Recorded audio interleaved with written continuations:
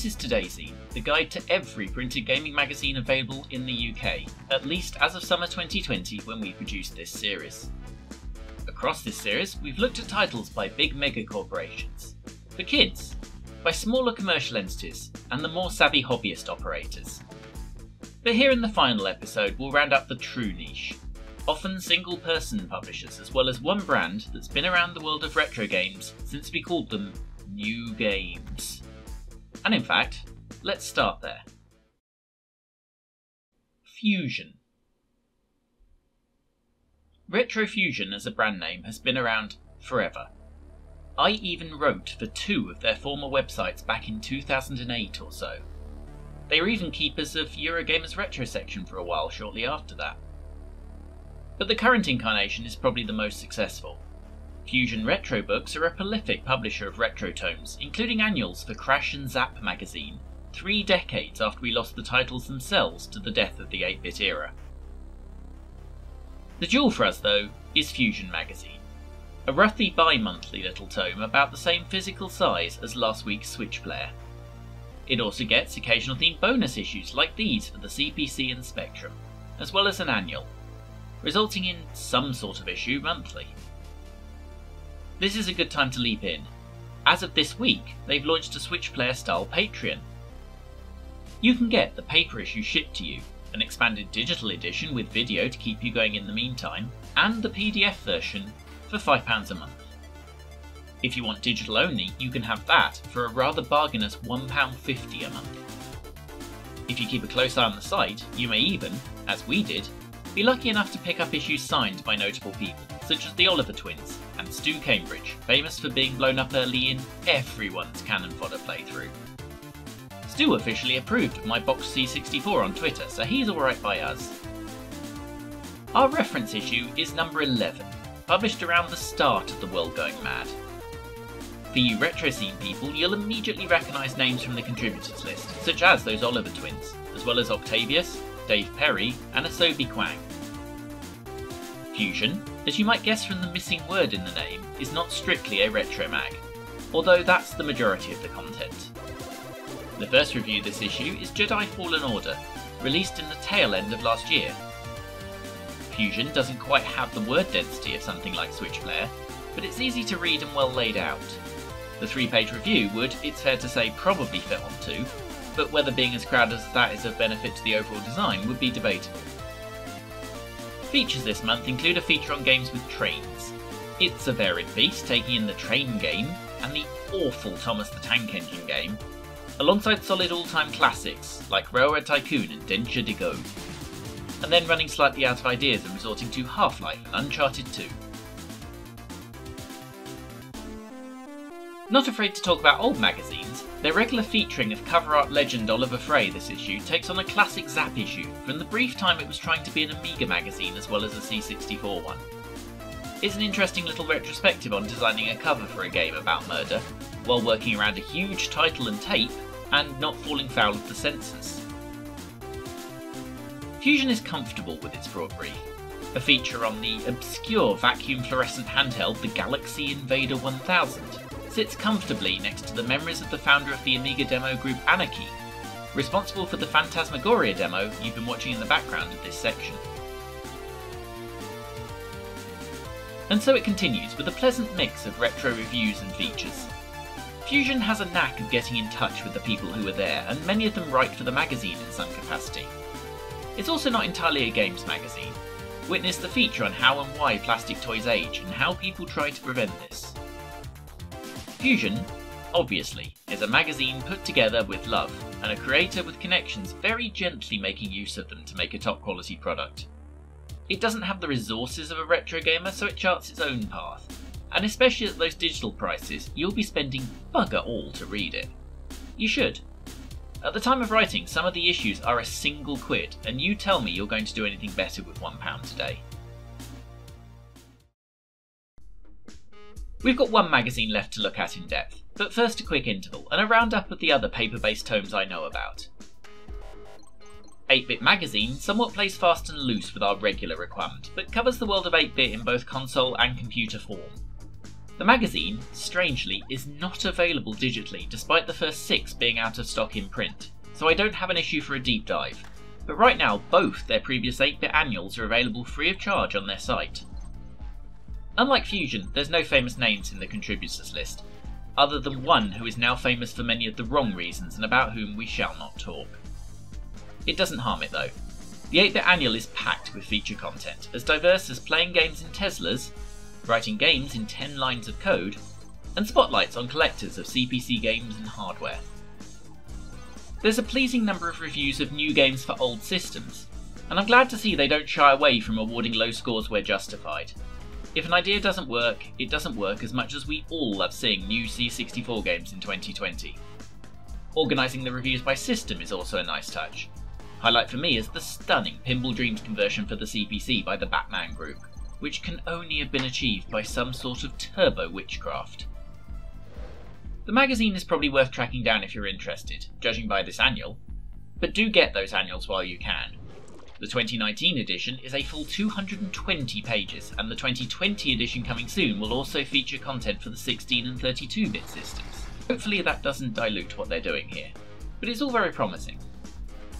That decision is probably driven by their new thing, currently on Kickstarter, is the first issue of their new expanded venture retro format, which is available digitally on the lowest tier. It's probably worth you taking a look, and as always, I'll link it below. Another one without digital, Freeze64 has been running for a few years now, and concentrates exclusively on the C64. I didn't buy a print issue of this for two reasons. One, they restrict some of them to subscribers only, which seems a little obtuse. And also that they have a big notice saying they refuse to help you if your order never reaches you, which, I'm sorry chaps, is not how ordering things works. It does have a good reputation for its actual content though, albeit at 36 pages it's not a big magazine. If you want a C64 specific magazine, I believe it's currently your only option. Stretching the inclusion requirements a little here, Amiga Future is a German publication, but they do produce an English language version, and shipping to the UK seems reasonable. A proper production this, AF has been running for 22 years. In fact, it's old enough that at one point it technically competed against Amiga Format from Future. It's a professional publication that even still has a cover CD if you want it. Probably the only one left in any 2020 magazine. Again, they don't really do digital, which continues to baffle me since it's so easy and is basically free money. AF is bi monthly, and up to 146 at this point. They do sell digital issues for those that are out of stock in paper, the most recent of those being at the start of 2018, which I decided against buying for two different reasons to Freeze64.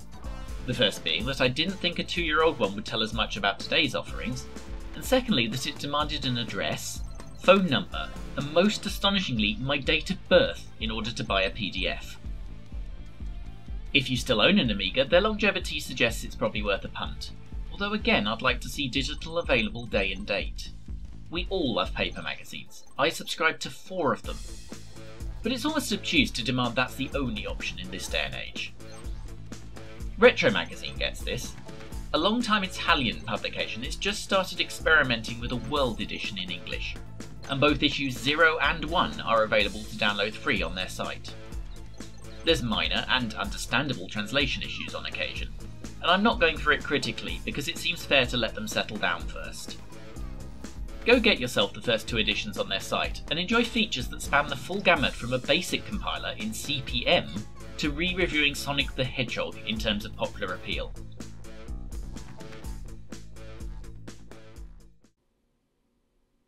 Pixel Bison Our last full look is a new one, Pixel Bison, winner of Magazine Name of the Year 2020. At the time of writing, Pixel Bison have released their first issue, and their remit is all of gaming, from new AAA games to indies and retro, but concentrates mostly on those independently produced new games. The magazine starts how it means to go on, with an interview with Rookie devs Alex and Tom about starting an indie studio when Sony killed their major one. The game, an adventure and world explorer, is looking fine and coming soon to PC and Switch. In the larger game world, Andrew clearly has contacts at Lionhead and starts a series of interviews with those involved with the ill fated Bullfrog successor, with their social media coordinator, a job you don't often see in magazines. The last interview is with John Rue, writer of new Game Boy release Quest Arrest, which is a curious case of trying to create the style of the old Sierra adventure game Police Quest, using graphics that look like they were borrowed from Pokemon. What he's come out with is a unique looking game you can get in both physical and digital form, and I wouldn't have known about it without this magazine. There's previews and reviews of new indie games, notable for not awarding a score but instead making you actually read the review, something you'd probably need to be an indie mag to get away with. Finally, there's new games content, with a roundup of Xbox Series X announcements. It's probably the weakest part of the magazine, as it's just a list rather than any of the author's actual feelings on what might be promising. It's hard to see what added value there is here. You soon forget that in the back of the magazine, as many people come together to discuss over several features what retro gaming means to them. And finally, the magazine concludes its 46 page run with an advert for Quest Arrest. Pixel Bison is £3 for a digital copy, £5 for physical. If you want to catch up, consider their new Kickstarter to fund issue 3.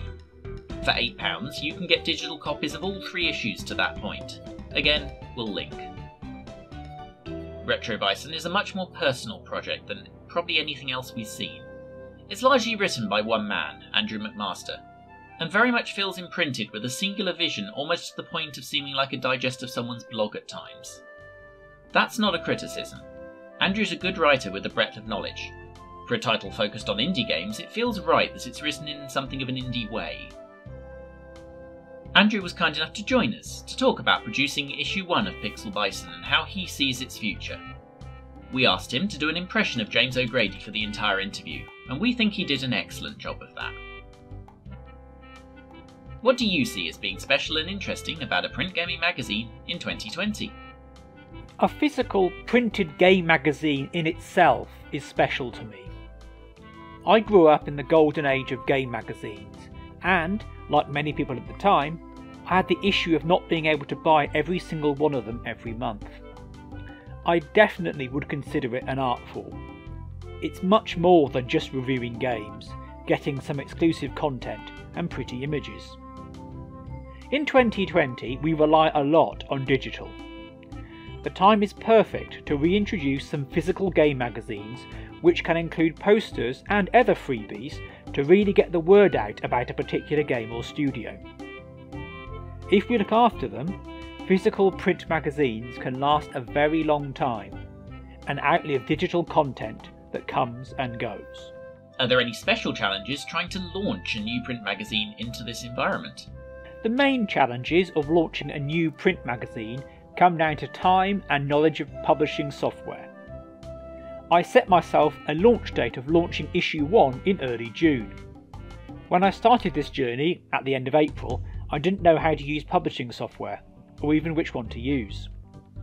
I settled on one which fit my budget and came with some powerful features. There was no time to learn everything while also getting the content needed, setting up the website and everything else, so I learned by just doing. Finding a printer I could print to the quality I wanted, at the speed I wanted, and within budget was also a challenge. I didn't have time to research this before starting to design the magazine, but luckily, by the second week in May, I had settled on a printer that ticked all the boxes. Getting the word out about Pixel Bison, and indeed any business in 2020, is not an easy process. As the editor, designer, content writer, and everything else in between, I was wearing enough hats, and marketing was mainly focused to Twitter. Is there a games magazine other than Pixel Bison that you read or subscribe to? I enjoy Retro Gamer and Freeze64. There is something about the nostalgia that I really like. Freeze64 focuses on the Commodore 64. I had one growing up and have many fond memories of this system. What was your favourite game magazine from the Golden Age? There were just so many, and I did buy quite a few different ones. The one I returned to, however, over and over was Games Master. They had many special issues that came wrapped with magazines, cheat books, and other freebies that filled me with joy. I have a number to this day. Why should we buy Pixel Bison? The first issue is now available at pixelbison.com. the first of many, I hope. I have big plans for the magazine going forward.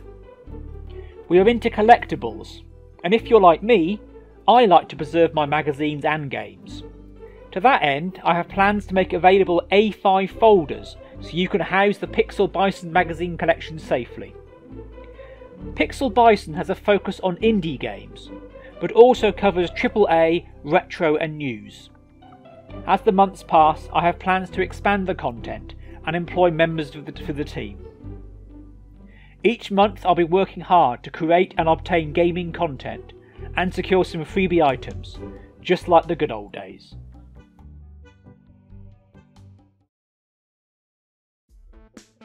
And I think that is all of them. But do you know another? Remember the rules. Published on a regular schedule, mostly about games, available in paper form, and published in the UK. Although, if you know of one like Amiga Future that misses that last one but is available at a reasonable price on import, do let me know. I'd like to tip my hat to Take Deep Shh, a commentator on episode 1 of this series, without whom I would not have known about Amiga Future. We'll be back in next year most likely, when hopefully all our magazines are still going, and who knows, maybe we'll have something new to join them. Good reading.